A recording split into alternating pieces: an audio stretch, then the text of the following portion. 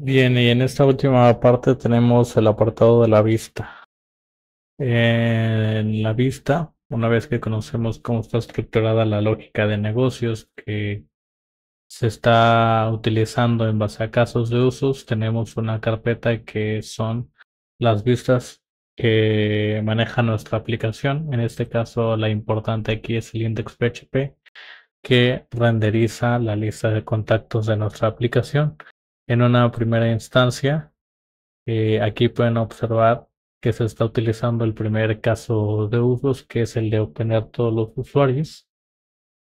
Se está especificando que eh, la variable data es de tipo base response y lo que hacemos aquí es el nombre que le dimos a nuestra instancia de get contacts es sources y sources está llamando al método execute que el método execute es el encargado de hacer el llamado a nuestro repositorio al método de getAll donde regresa todos los contactos y hace una iteración para generar un array de una entidad llamada contact entity.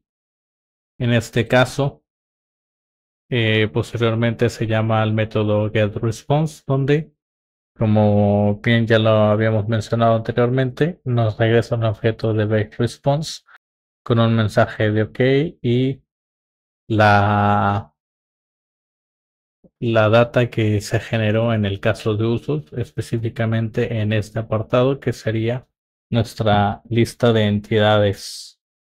Una vez que tenemos esto,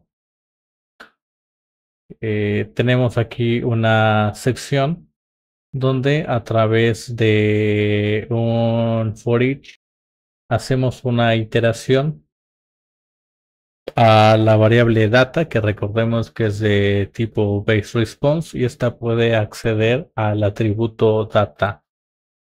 Esto eh, pues lo vamos por cada una de las posiciones que va recorriendo lo vamos a guardar en una eh, variable que se llama value. Esta variable value es de tipo contact entity y a partir de eh, esta declaración de PHP con el mayor y que signo de interrogación el igual, vamos a ocupar value y podemos eh, regresar lo que contiene el método getNick, así como también hacer una concatenación del nombre y de los apellidos de la misma forma eh, renderizar lo que viene siendo el número de teléfono y esto lo vemos reflejado pues aquí en nuestra aplicación. Del mismo modo, eh, se agrega un botón de editar que es el que estamos eh, viendo aquí y aquí se utiliza una función de HTML que es el long click que nos permite hacer un llamado a un método en JavaScript. En este caso, lo que estamos haciendo aquí es que en el long click se está llamando a una función JavaScript que se llama onUpdateContact y eh, como parámetro se le está pasando el, nuestra entidad, pero se está llamando el toString, que recordemos que en nuestro toString nos regresaba un, a un string en formato JSON y este eh, se pasa como parámetro a esta función que tenemos aquí.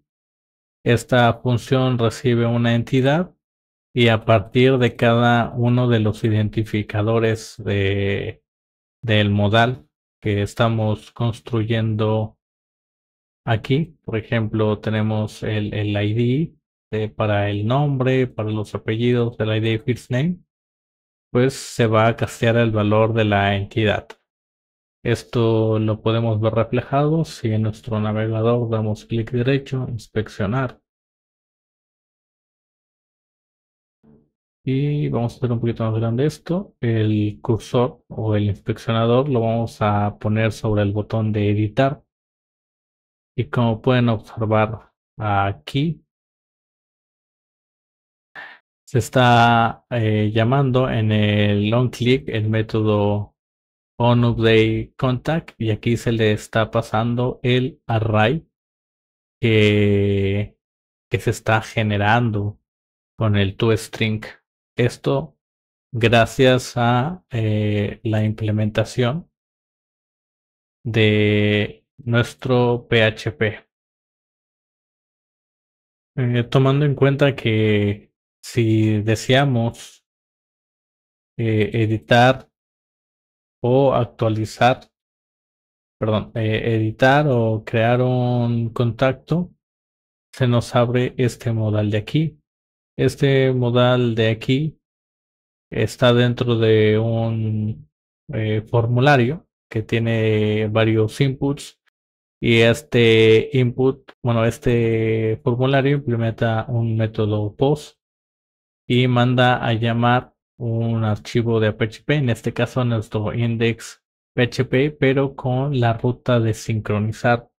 Recordemos que dentro de la configuración nosotros tenemos un archivo route que eh, llama a la propiedad ruta que si no viene ningún valor, por defecto le pone home, pero en nuestro caso ya estamos mandando a llamar a sync. En este caso aquí tenemos sync y sync va a llamar al script de sincronizar que tenemos dentro de app view. En este caso es este que tenemos aquí tomamos en cuenta que nuestro formulario pide un nombre como name, un apellido como first name, un teléfono como phone y un correo como email. Así como también tiene eh, unos inputs ocultos que es la acción si es que vamos a crear o la eh, o el ID si es que vamos a actualizar tomemos en cuenta que con JavaScript también podemos manipular ese actions. En este caso, cuando se quiere actualizar un contacto, action es igual a nuestra eh, constante de update. ¿Vale? Entonces, eh, recapitulando el script eh, sync.php va a hacer un una instancia de nuestra entidad contact entity va a recibir por post eh, la acción y la almacena en una variable. Y aquí hacemos una pequeña validación. Si acción es diferente crear y es diferente a actualizar, entonces eh, vamos a generar eh, un valor a una sesión y vamos a ponerle el nombre de se ha producido un error al crear o actualizar. Esta sesión que tenemos aquí se inicializa en nuestro index.php. Esta, eh, esta línea de aquí eh, de sesión start es la que nos va a permitir guardar información en sesiones de PHP. Lo único que hacemos aquí es utilizar la sesión, darle el nombre a esa variable y posteriormente darle el valor. Con header hacemos una redirección, en este caso a nuestra ruta index.php. En dado caso de que esta validación no, eh, no se ejecute porque si estamos o creando o, actualizando, entonces eh, de nuestra variable contact vamos a agregarle un ID, un nombre, un first name, un email y un phone. Y todos estos van a venir de nuestras eh, parámetros que se mandaron por el método post. Aquí lo único que hacemos es eh, imprimir la información.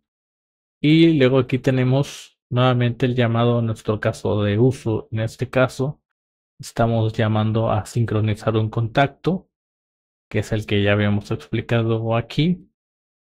Después, eh, el sincronizar eh, caso pasa unos atributos que en este caso sí estamos ocupando, que es la acción en texto para saber si creamos o actualizamos y el parámetro que es nuestra entidad de contacto.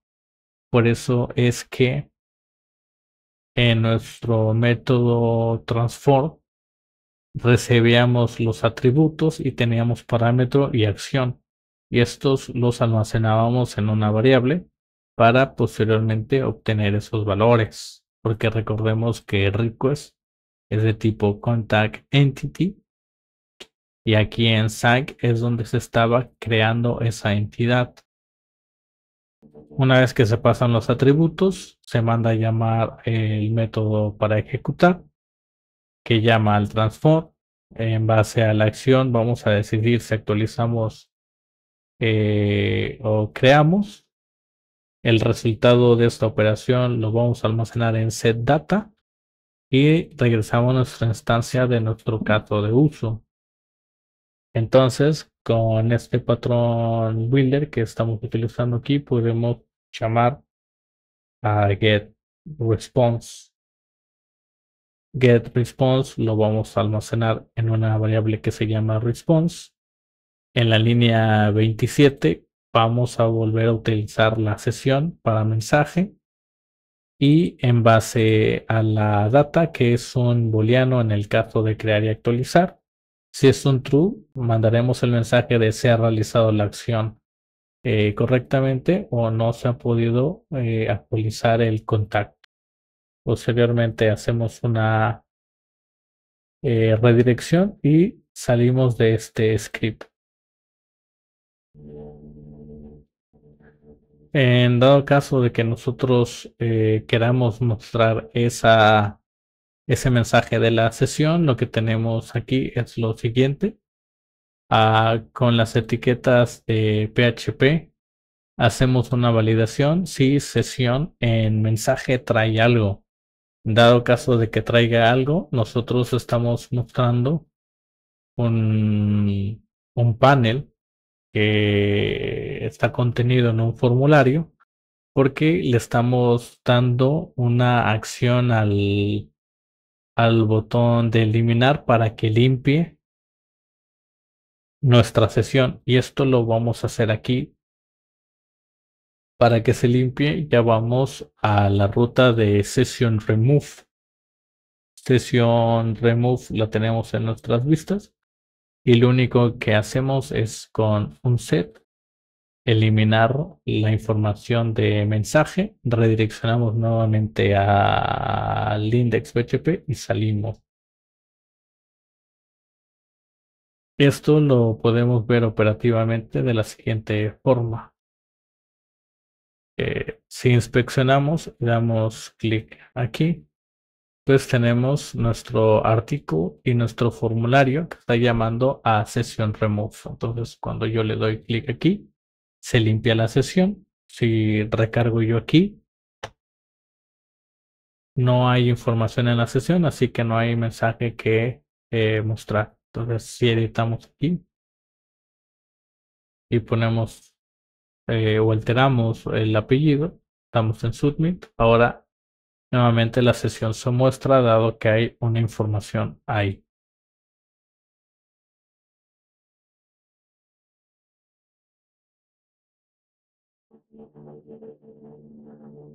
Y yo creo que con esto acabaríamos con el, el proyecto explicado. Si eh, tienen algún tipo de duda, pues, puedes mencionármelo y con gusto puedo resolverla.